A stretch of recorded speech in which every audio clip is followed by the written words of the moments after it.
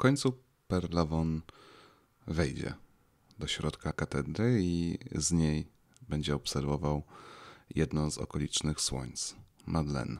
E, jeżeli zastanawialiście się w ostatnim odcinku, czym jest Madeleine, no to właśnie jest takim nietypowym słońcem, z którego granic powoli oddala się asteroida, na której położona jest katedra. W każdym razie Per wchodzi do katedry. Widać Madeleine nawet z wnętrza katedry, z wnętrza jej biostazy, strzelają tu do środka promienie soczystej purpury. Czekałem na gazmę już pół godziny. Zdjąłem skafander i położyłem na pierwszej ławie obok hełmu. Modliłem się chwilę. Gazma wciąż się nie zjawiał. Bezwiednie uniosłem głowę i jąłem się przyglądać splątanym wnętrzością katedry. Uczucie nie było tak silne, jak opowiadał ksiądz Mirton – ale i ja co setną myśl kierowałem ku labiryntom wysokich cieni z przeświadczeniem, iż ktoś, gazma, przypatruje mi się stamtąd. Podszedłem do samej granicy biosfery, by z bliska przyjrzeć się żywokrystnemu kamieniowi. Rzeźbienia były bardzo skomplikowane. Jeden wzór przechodził w drugi, geometria przystających figur wiodła chciwe spojrzenie poza zasięg światła. Oczywiście to nie były rzeźbienia jako takie – Nikt przecież nie ciosał, nie obrabiał kamienia rogu. Z pierwszych ziaren poczęta forma rozgryzła zimny grunt planetoidy i ruszyła falą nanoprzekształceń, aż cząsteczka po cząsteczce wzniesiony tu został pomnik ugercowej wdzięczności. Ale ile może zostać zawarte w pierwotnych algorytmach ziaren, w architektonicznych kodach żywokrystu? Ta twarz, to była twarz, nie miałem wątpliwości. Ta twarz i ta sylwetka i ten menisk kamienia i nawis pustookich czaszek i ten korowód na jelicie powyżej, na przeciągniętej wskroś lędźwi katedry, strunie ciemności, korowód chudych postaci, danse makabre nieludzkich szkieletów, to wszystko przecież nie mogło znaleźć się w kodzie ziaren inicjujących. Nie znam precyzyjnie ich pojemności, ale wydaje mi się nieprawdopodobne, by projektanci wpisali w nie przyszłe położenie każdej drobiny izmiraidowego minerału. Zupełnie nie na tym polega żywoplanistyka ergodyczna. Trzeba pozostawić wielkie pola chaosowi. Więc jeśli to nie projektantów ręka, nie ich artyzm, czyj zatem? Kto rzeźbił? Kto dał wdzięk kruchym aniołom? Krwiożerczość łbom stalagmitowych demonów, ułudę płynności falowym załamaniom wewnętrznej skóry katedry. Kto uczynił dzieło sztuki? Postanowiłem sobie poczytać więcej o technologiach nanorodnych. Wspiąłem się na oparcie ławy, z niej na kościaną wypustkę jednego z krzywych żeber katedry – tu w połowie nawy głównej spod powierzchni kamienia, jak przez grubą błonę zniekształcającą rysy, wyglądają, przebijają się naturalnych rozmiarów głowy. Cienie spływają miękko po czołach i policzkach. Przesunąłem dłonią, opuszkami palców, zimne, bardzo zimne, pierzchnie skóra. Oderwałem rękę w obawie, że jeszcze przymarznie. Dopiero byłaby afera. Zagwałtownie, zagwałtownie. To izmiraidy, przyciąganie minimalne, lekkie odepchnięcie wyrzuca w górę na metry. Poleciałem płaskim łukiem, rąbnąłem plecami o barierę ochronną biosfery, trochę zamortyzowało. Rzuciło mnie z kolei ku grobowi Izmira. Zdążyłem jeszcze złapać się jednej z ław. Obróciło mnie w powietrzu, wyrżnąłem o posadzkę lewym barkiem, czaszka stuknęła o kamień. To się tak lekko teraz mówi, lecz wtedy byłem pewien co najmniej wstrząsu mózgu. Nie to, że odjęło mi wzrok, ale ból zdominował wszystkie zmysły, przesłonił świat. Mrugając, pomacałem się po głowie. Lepko. Dopiero po chwili zobaczyłem czerwień na palcach, włosy zlepione krwią. Zataczając się, powlokłem się do skafandra. Włożyłem go, założyłem hełm, usiadłem i włączyłem diagnoster. Weszły we mnie mikrosondy. Kość nie pęknięta, ale długie rozcięcie skóry. Nie trafiło na znaczniejsze naczynia krwionośne, upływ krwi niewielki. Czekałem, aż przestanie mi się kręcić w głowie. Gazmy nadal ani śladu. Cholera z nim, przecież to niewątpliwy szaleniec. Jak mogłem przypuszczać, że przyjdzie na czas, że w ogóle przyjdzie? Uch, zapiekło, gdy skafander zasklepiał ranę. Środki uspokajające zaczęły działać. Wróciłem do hotelu. I co tu się wyprawia w tym momencie? Czy już działamy normalnie? To właśnie tutaj, według wielu streszczeń, y, rozgrywa się najbardziej kluczowe wydarzenie całego opowiadania. Nasz bohater, ksiądz Lawon, uderza tyłem głowy o ołtarz, rozcina sobie skórę i dochodzi do jakiegoś być może zakażenia. A przecież jeszcze chwilę wcześniej rozmawiał z Gazmą, który to powiedział mu, że owszem, katedra uleczyła go ze schizofrenii, ale mm, przez kontakt fizyczny, przez dotknięcie świętego miejsca, mm, został on przywiązany w zasadzie do katedry. To znaczy, kiedy im bardziej się oddala od tego miejsca, tym bardziej nawraca jego choroba i coraz bardziej traci zmysły. Nasz bohater w tym momencie, kiedy to się dzieje, nie przypomina sobie tej rozmowy, po prostu traktuje to wydarzenie jako czysty, e, mały wypadek podczas eksploracji. A jednak prawdopodobnie właśnie przez to e, już wkrótce z nim zaczną dziać się rzeczy, mówiąc wprost, niewytłumaczalne. Zresztą na pewno się domyślacie, słuchając tego. E, jednak pomiędzy tym fragmentem, który przed chwilą usłyszeliście, a fragmentem, który odczytam za chwilę, e, mamy sporą przepaść. Jedną z tych przepaści, o jakich wspominałem w pierwszym odcinku naszej katedry, Przepaść, którą trzeba sobie wypełnić na podstawie usłyszanych chwilę później e, rozmów pomiędzy bohaterami. A właśnie w tej przepaści, w tej przerwie rozgrywają się najważniejsze dla naszego bohatera wydarzenia katedry. Zapiszę, jak brzmiały ich relacje. Weissofemgus, który siedział w lądowniku tuż obok mnie, mówi, że od początku się pociłem. Denerwowałem i chciałem wyjść z powrotem. Kiedy zapowiedziano start, ponoć rzuciłem się biegiem do śluzy. Kreczer, który miał mnie na podglądzie, twierdzi, że nie potrafiłem założyć sobie hełmu. Mają mi przesłać plik z tą sekwencją. Z kolei ludzie z obsługi twierdzą, że musieli mnie schwytać i siłą odciągnąć, żebym się nie zabił, biegnąc na oślep po powierzchni rogu. Dwaj lekarze, McVine i Bedesadus, po przeanalizowaniu wyników badań orzekli doskonały stan fizyczny i psychiczny, w każdym razie bez wątpienia mieszczący się we wszelkich normach. Ja nic nie pamiętam. Nie wiem dlaczego uciekałem. Milton odlatuje jutro. Przyszedł do mojego pokoju i wypowiedział na głos moje własne strachy. Zdaje się, że to kazus gazmy. Symptomy się zgadzają. Co mówią? Powiedziałem mu, co mówią. Westchnął, jakby się już litował. Zakląłem. Przecież ja muszę jakoś stąd odlecieć. Spróbuj jutro ze mną, zaproponował. A jak próbowali z nim, znaczy z gazmą? Odwrócił się od okna i zapatrzył na mnie z jakimś chorym pomieszaniem fascynacji i odrazy, nieśmiałości i bezczelności.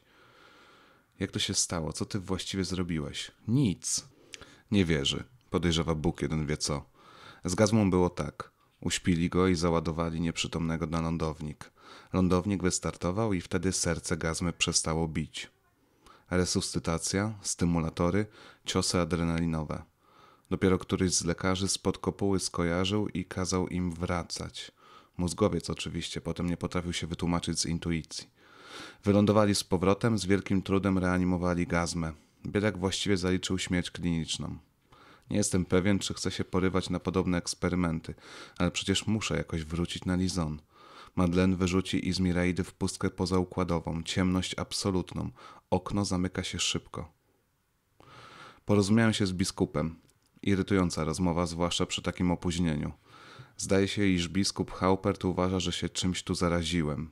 Ciekawe czym. Miasto w kraterze sterylne od zarania, sam róg nie posiada ni śladu atmosfery, nie wspominając o biosferze. Niemniej rozumiem biskupa, sytuacja jest delikatna, ostatnie czego nam trzeba to śmierci duchownego na Izmiraidach. Wyspowiadałem się. Nie wiem, co robić.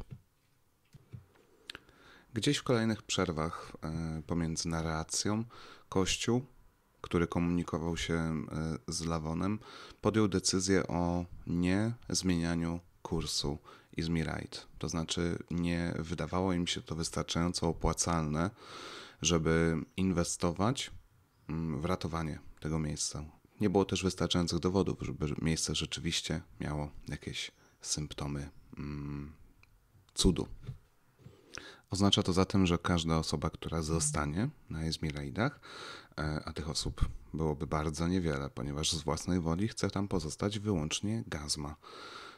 Mm, wkrótce oddali się na tyle od Słońca, że zostanie w tej ciemności absolutnej, w tej ciemności głębokiego kosmosu i zamarznie, zginie po prostu.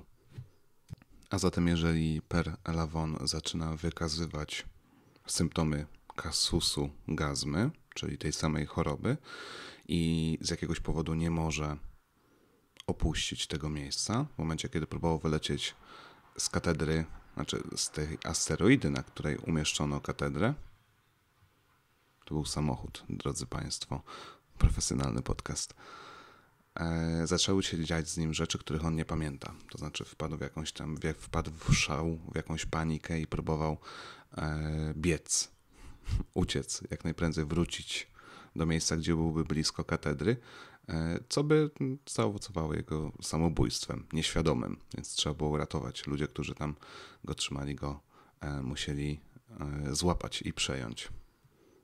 Z tej perspektywy oczywiście istotne może być to wydarzenie wewnątrz katedry, kiedy przez przypadek źle obliczył mm, ruch własną ręką i spowodowało to uderzenie tyłem głowy o ołtarz. Ale no i tutaj chyba trzeba byłoby tak zadać takie pytanie, jeżeli na Izmiraidach pojawiały się setki, jeżeli nie tysiące pielgrzymów wierzących w cudowność tego miejsca, na pewno ktoś poza Gazmą i Lawonem dotknął ołtarza. Dlaczego zatem wszyscy inni mogli stamtąd wylecieć, a oni wylecieć nie mogą? Dla naszego bohatera to oczywiste, że jedyną metodą na jakiś ratunek będzie w tym momencie rozmowa z Gazmą. Z Gazmą, który jest coraz bardziej nieuchwytny. Chowa się na tej asteroidzie, chowa się w katedrze, spędza tam e, całe dni lub całe noce. Ale dochodzi pomiędzy nimi do jeszcze jednej rozmowy. I wiem, że dużo tutaj fragmentów było czytanych, ale musimy przerobić te najbardziej kluczowe fragmenty, żeby porozmawiać o tym, o czym chcę porozmawiać. Więc wstrzymajcie swoje konie i niedźwiedź ze mną. Pojawił się po godzinie. Zdjął hełm i zobaczył mnie. Myślałem, że będzie uciekał, ale on spokojnie wszedł do ogródka, usiadł na trawie. Patrzył teraz zupełnie inaczej, nie bał się. No tak, on też wiedział. Jak stąd odlecieć? spytałem. Wyszczerzył się głupkowato. Nie można. Dlaczego? Izmir nas przyjął. Musiałem mieć nieprzyjemny wyraz twarzy, bo obronnym gestem wzruszył ramionami. Mówią, że podobne rzeczy przydarzają się ludziom w Jerozolimie, w okolicy grobu pańskiego. Jeśli ktoś zbliżył się tak i doświadczył, rozumie ksiądz, potem nie jest w stanie odejść na większą odległość, opuścić miasta. Grób go przyciąga jak magnes żelazo. Można wykreślić linię potencjału. Ludzie wariują od tego, umierają albo zostają pustelnikami, albo wstępują do zakonu, albo się zabijają. Chciałem go zapytać, jaką karierę przewiduje wobec tego dla siebie. Powstrzymałem jednak szyderstwo. A pan? Czego pan doświadczył? Ona żyje. Wie ksiądz o tym, prawda? Co? Katedra.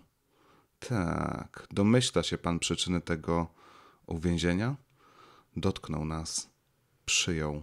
W każdym razie mnie, należymy do niego, do katedry. Ma pan na myśli Izmira. A kogo? Czy nie modlił się ksiądz przy jego grobie, nie całował rąk? Pan się modlił i on wyprosił pana uzdrowienie. Tak, tak, tak. Co z tego, skoro i tak nie może pan stąd odlecieć? Dłużej by pan żył, gdyby pozostał na Lizon. O ile wiem, schizofrenia nie jest śmiertelna. Gazma, oburzony, poderwał się jako parzony. I ksiądz to mówi? Ksiądz? Krztusił się nade mną. Zanim opadł na ziemię, uspokoił się nieco. A jednak próbuje pan odlecieć, zauważyłem. Co? Nie po to chodził pan do lądowników?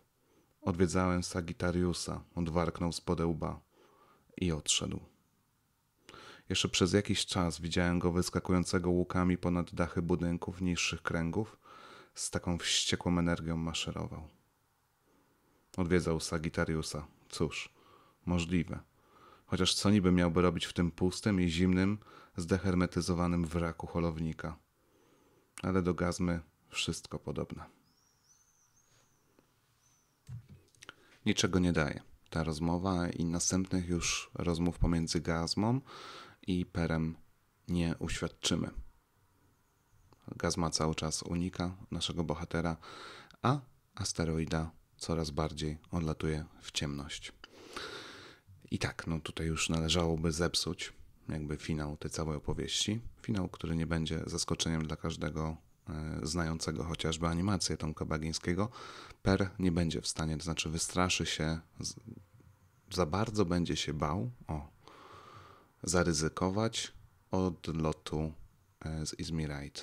Boi się, że e, umrze po prostu w momencie, w którym odleci.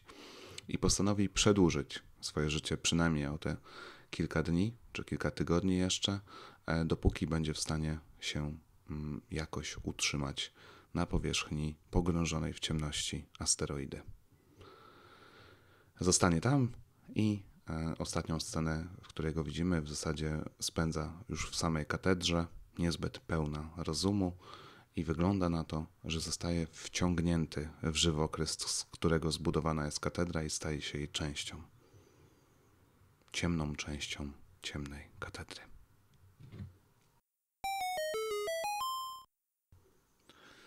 Tak więc, co tak naprawdę wydarzyło się z Perem? Czy to dotknięcie, to bolesne dotknięcie ołtarza spowodowało mm, chorobę? To wybranie, jak nazwał to Gazma? Czy też może e, przez przypadek e, został zarażony chociażby tą czarną watą, czyli tym minerałem, który ponoć wydobywano z asteroidy, minerałem, który jeszcze pamięta e, inną niż ludzką cywilizację w tym kosmosie. Szczerze powiedziawszy, to nie ma chyba tak dużego znaczenia z perspektywy czytelnika. Istotne jest to, że bohater, który jest księdzem, księdzem średnio wierzącym w niesamowitość katedry, to znaczy, kiedy widzi ją, nie może odmówić jej czegoś niesamowitego, ale e, dopóki teoretyzuje, na temat natury samego miejsca, to nie potrafi na to inaczej patrzeć niż z delikatnym sarkazmem. Księdza, który zostaje zmuszony, żeby w tym miejscu, którego on sam za cudowne nie uważa raczej, e, pozostać. Mało tego, stracić w nim życie. I mnie interesuje wiele bardziej etyczno filozoficzna warstwa tego opowiadania niż próby dociekania do sensu, do jakiejś tajemnicy, bo ta tajemnica i tak nie będzie rozwiązana. Za krótki to jest tekst, e, za mało dostajemy informacji, żeby mm, być pewnymi którejś z możliwych odpowiedzi.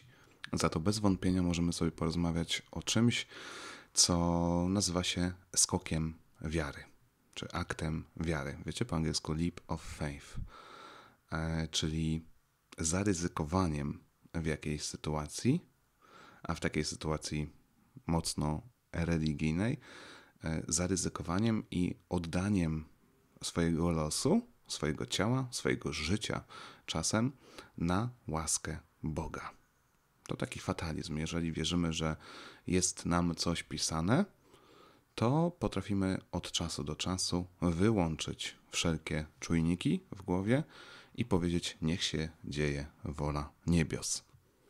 Czy ksiądz, taki dość hmm, skomplikowany wewnętrznie ksiądz, nie zostaje przypadkiem wystawiony na jakąś próbę w sytuacji, w której się znajduje? Otóż dostaje on informację, że możliwe jest, że jeżeli on wyleci stamtąd, zabierze się z ostatnim e, statkiem, to umrze na pokładzie tego statku, kiedy tylko odleci z asteroid. Tak jak Gazma, który przeżył śmierć kliniczną praktycznie. A jednocześnie jest też osobą, która no, ma problem jakby ze statusem samej katedry i z tą e, cudowną historią Izmira Predu. Czy w jego wykonaniu, czy w jego przypadku skokiem wiary nie byłaby ucieczka z Izmirite? Czy w jego wypadku nie byłoby oddaniem swojego życia w ręce Boga, gdyby on rzeczywiście wszedł na statek, mimo tego, że wiedziałby, że mógłby nie przeżyć tego lotu, mógłby się nigdy nie obudzić ze stanu, w jaki wpadnie, kiedy tylko oddali się od grobu? Ja to wypowiadam z perspektywy osoby średnio wierzącej, e, już chyba bardziej niewierzącej niż wierzącej, ale jest to dla mnie fascynujące. To znaczy, dzieje się coś, czego żaden naukowiec kontaktujący się, bo on ma cały czas jakby mm, łączność z Watykanem e, bardzo długo, o wiele dłużej niż byśmy się spodziewali, nikt nie potrafi mm, racjonalnie wyjaśnić ani temu zapobiec. Więc chyba tutaj trzeba już przestać myśleć racjonalnie i e, włączyć ten fatalizm, który każda osoba duchowna powinna przecież posiadać. Czy może jednak Per jest osobą na tyle wybrakowaną, na tyle pełną strachu, że e, nie potrafi tak dużego ryzyka podjąć. I woli przedłużyć to życie tyle, ile będzie mógł, a nie E, kończyć go jakoś no, z chwili na chwilę. A może właśnie pozostanie w takim miejscu ma dla niego jakiś wyższy cel. Może jednak ta katedra powoli wchodzi mu pod skórę i coraz bardziej go fascynuje i na jakimś etapie już rzeczywiście nie potrafi sobie wyobrazić wylotu stamtąd. Odpowiedzi żadnej oczywiście nie dostajemy, ja tylko e, podrzucam ewentualne znaki zapytania, jakieś takie punkty zaczepienia i tematy, o których można sobie pomyśleć podczas czytania katedry, czy nawet po zakończeniu najlepiej. I to uważam za duży sukces samego autora, że mnie do takich rozkmin w ogóle motywuje opowiadaniem, które no wydawałoby się jest takie dość prostolinijne i o rzeczach ok, intrygujących, jak Kościół w kosmosie i tam cudowne miejsca, ale bądź co bądź e, dość normalne, o, tak bym powiedział. I jest coś niesamowitego w tej myśli, że zostaje się na powierzchni ciała, które wkrótce pogrąży kompletna ciemność. Zostaje się w, w korytarzach, czy no, nie wiem, we wnętrzu tej budowli, która wymyka się e, jakiemuś ludzkiemu postrzeganiu naszym zasadom. Ona zaczyna żyć własnym życiem, tak jak słyszeliśmy we fragmentach. Katedra coś ma w sobie niesamowitego i nikt nie wie dlaczego. Być może to przez miejsce, w którym nosi, być może to przez to, że e, rzeczywiście powiązana jest ze śmiercią Izmira Predu. Może Izmir Predu nie był zwykłym człowiekiem i tak dalej, i tak dalej, i tak dalej. Wizja tej katedry, która również pogrążona jest w zupełnej ciemności i już nie widać nawet jej elementów, bo nie ma nawet tła jakiegoś, które by wyróżniało te elementy, e, jest głęboko niepokojąca. To jest takie mroczne science fiction, które ja bardzo lubię. I mam nadzieję, że mimo tego, że dotrwaliście do tego momentu odcinka, a nie znacie na przykład katedry, to jakoś was do niej zachęciłem. Albo przynajmniej zachęcę was za tydzień e, do jej cudzysłów ekranizacji, czyli tego krótkometrażowego filmu, który o rany w czasach mojej młodości walczył o Oscara. Więc jeszcze tylko jedna impresja z oryginalnego tekstu. Obudziłem się przy grobie Izmira. Nie mogę sobie przypomnieć, jak tu przyszedłem. Rozebrałem się ze skafandra, ale gdzie ja go wcisnąłem? Nie ma go nigdzie we wnętrzu biosfery katedry. Może to robota Gazmy? Kogo innego? Siedzę i czekam. Madeleine zupełnie nie widać przez żebra katedry. Dużo cieni. Przyjemnie. Jakoś się nie boję. Gazma powinien się pojawić prędzej czy później. Teraz patrzę na katedrę w inny sposób, jak na organiczny relikt. Nad półsferą biostazy za ołtarzem zawęźla się jakaś chropowata bulwa, której nie przypominam sobie z poprzednich wizyt. Duża jest, dziesięć metrów najmniej. Patrzę i widzę zaczątek organu. Poziome sploty od wież, tętnice, ścięgna, ale to wszystko w skali dni. Kamień jest kamieniem, budowla ani drgnie, żywokryst gładki i zimny. Postać Izmira Predu wydobywa się z płyty nagrobka jednak wyraźniej, chociaż cienie bardziej miękkie. Dłonie tęsknią do dotyku, jakby ciało czuło jakieś pokrewieństwo materii. Zdjąłem na moment okulary, ale blask tabernakulum razi oczy. Patrzę spod śluzy.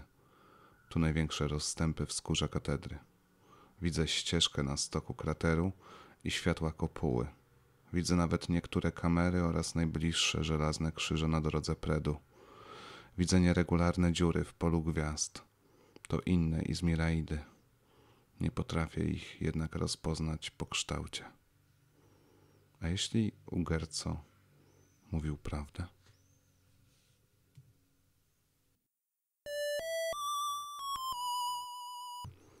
Dzień dobry lub dobry wieczór w najbardziej niszowym podcaście w polskim internecie.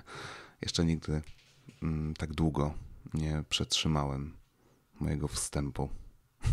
nigdy nie robiłem go na sam koniec odcinka. To był drugi i przedostatni fragment o katedrze, ale ostatni o oryginalnej książce.